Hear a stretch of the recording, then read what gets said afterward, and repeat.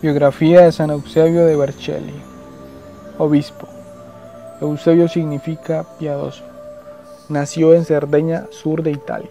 Al morir su padre, la mamá lo llevó a vivir a Roma, donde el Papa Liberio lo tomó bajo su protección, lo educó y lo ordenó sacerdote. Poco después, en la ciudad de Vercelli, al norte de Italia, murió el obispo y el pueblo y los sacerdotes proclamaron a Eusebio como nuevo obispo por su santidad y sus muchos conocimientos. San Ambrosio dice que el obispo Eusebio de Vercelli fue el primero en Occidente al cual se le ocurrió organizar a sus sacerdotes en grupos para formarse mejor y ayudar a animarse en la santidad.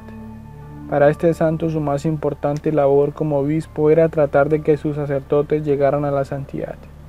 Fue obispo de Vercelli por 28 años.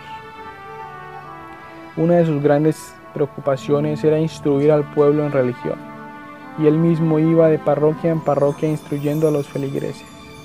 Lucha contra la herejía. En aquellos tiempos se estaba extendiendo una terrible herejía llamada arrianismo, que enseñaba que Cristo no era Dios.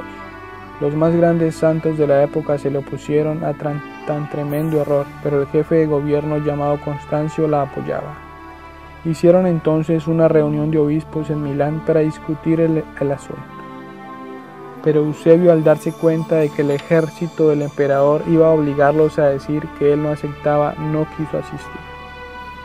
Constancio le ordenó que se hiciera presente y el santo le avisó que iría, pero que no aceptaría afirmar ningún error y así lo hizo. Y aunque el hereje emperador lo amenazó con la muerte, no quiso aceptar que Jesucristo no sea Dios. Entonces fue desterrado. Destierro doloroso. Fue llevado encadenado hasta Palestina y encerrado en un cuarto miserable. Los herejes lo arrastraron por las calles y lo insultaron, pero él seguía proclamando que Jesús sí es Dios. En una carta suya cuenta los espantosos sufrimientos que tuvo que padecer por permanecer fiel a su santa religión y expresó su deseo de poder morir sufriendo por el reino de Dios. Al morir Constancio, su sucesor decretó la libertad de Eusebio y éste puso volver a su amada diócesis de Vercelli. San Jerónimo dice que toda la ciudad sintió enorme alegría por su llegada y que su vuelta fue como el terminar un tiempo de luto y de dolor. El resto de su vida la empleó junto con grandes santos como San Atanasio y San Hilario en atacar y acabar la herejía de los arrianos y en propagar por todas partes la santa religión. Murió el primero de agosto del año 1371.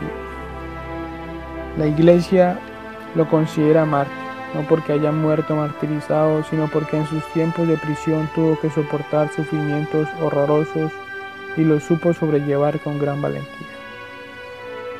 Él repetía, puedo equivocarme en muchas cosas, pero jamás quiero dejar de pertenecer a la verdadera religión.